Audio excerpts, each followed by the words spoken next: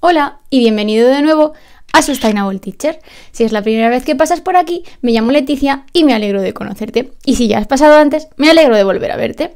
En el vídeo de hoy tenemos este enfoque así tan raro porque no vamos a estar charlando mucho rato así, sino que me voy a poner con el ordenador y vamos a hacer un vídeo tutorial de cómo usar Genially. Vamos a hacer algún juego de estos para mm, introducir una unidad o para repasar, para lo que vosotros queráis. Ahora iréis viendo que hay muchas opciones y vosotros podéis escoger usarlo como queráis. Si este vídeo te interesa, no lo dudes, suscríbete, dale a la campanita y si te gusta este vídeo, dale al like.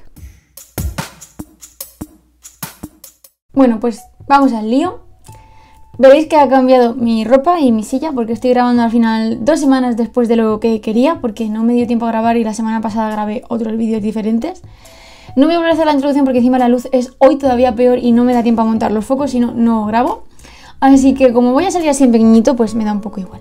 Entonces, eh, vamos a hacer en este vídeo un juego con una plantilla de Genially ya creada. Eh, yo tengo el Genially Pro porque me lo compré en el Black, Friday de, mm, de, el último Black Friday que hubo.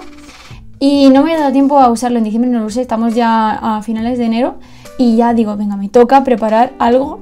Porque yo siempre he usado Genialist, pero Genialist ya creados por alguien, ¿de acuerdo? Que yo tenía el enlace y lo usaba con el enlace público.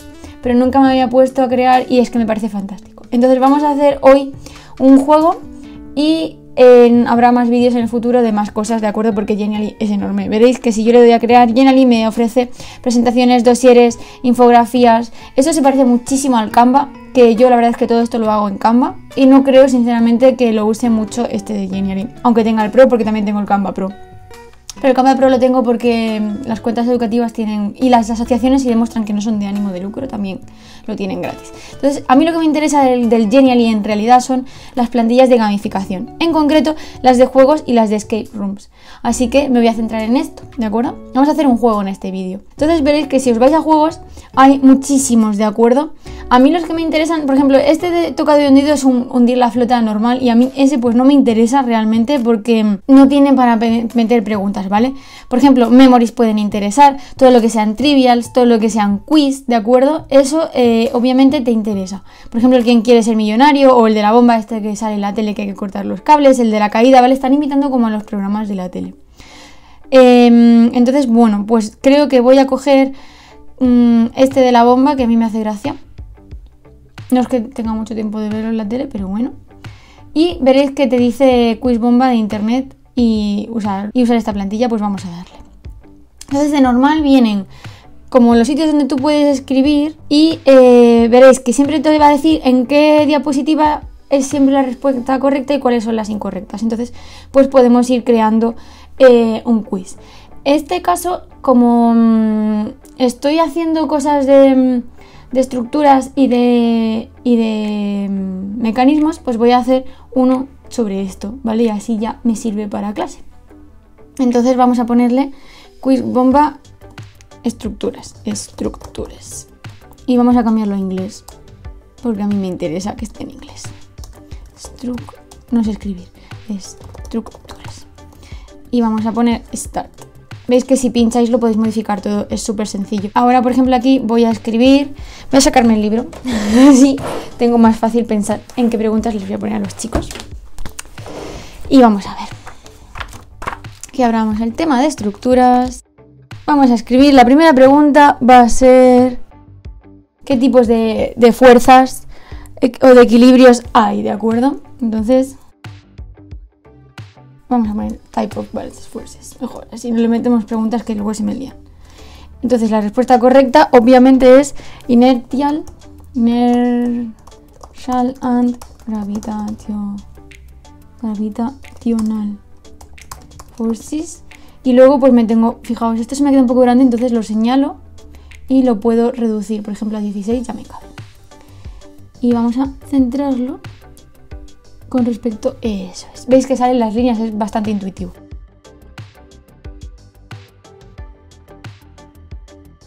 Voy a poner un fondo, entonces me voy a fondos y fijaos que voy a buscar en vez de aquí en el Unsplash, que a mí me gusta mucho porque son imágenes CC, Vale, y voy a poner... Mira, esta de esta noria. Vale, y ahora le quiero poner, si es que esto es posible, aplicar todas las páginas. ¿Vale? Y estas letras las vamos a poner en negro, porque si no, no se van a ver. Vale. ¿Veis? Ya me salen todas las páginas. Bueno, este sale como el último. Sale rojo porque creo que el fondo era rojo, pero bueno, no pasa nada. ¿De acuerdo? Y vamos a ver. Y cuidado que me acabo de dar cuenta que me falta cambiar esto del inglés. Y esto le vamos a poner good en vez de bien, porque obviamente. Y lo voy a poner en negro, porque si no, no se va a ver. Fijaos, aquí está para el color. Así mejor.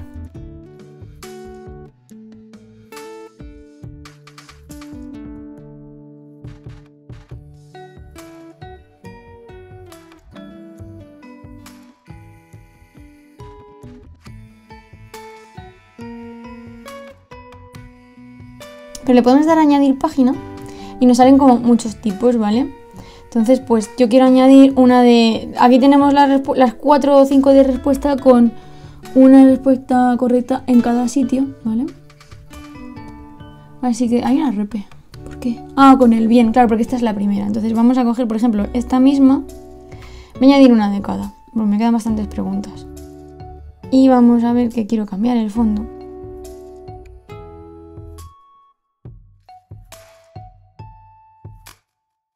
Vamos a poner structures aquí para que se guarde. No voy a ser que se me pierda. Y aquí vamos a poner, es la 6, si no estoy equivocada. Entonces, cuestión...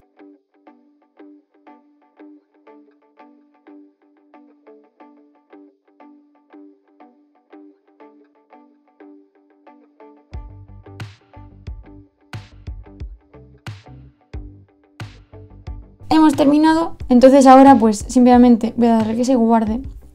Vamos a decirle que está listo. Vamos a ponerlo privado. Em, y ya está. La contraseña como va a ser privado. Y entonces ahora lo vamos a visualizar para que veáis, veáis cómo queda. ¿Veis? Queda así. Entonces le damos Start. Y pues ahora que hay que, hay que ir eligiendo. Si elegimos em, una que esté mal, te dicen no. Y volvemos a intentarlo. Si elegimos la que está bien, pues entonces nos dice bien y pasamos a la siguiente y así pues se puede jugar. Y hasta aquí el tutorial de Genially. Espero que os haya gustado. Eh, es creo que es la herramienta más versátil a la hora de crear juegos con plantillas y cosas relativamente fáciles, pero quizás es de las más complicadas, eso sí, por eso es mucho más versátil que a lo mejor Quizlet u otra de ese tipo que, que te tiene como minijuegos, pero no es tan compleja, ¿no? Por eso es tan interesante y yo creo que tiene ese hype tan grande que tiene, bastante merecido, por cierto, en las redes en la actualidad.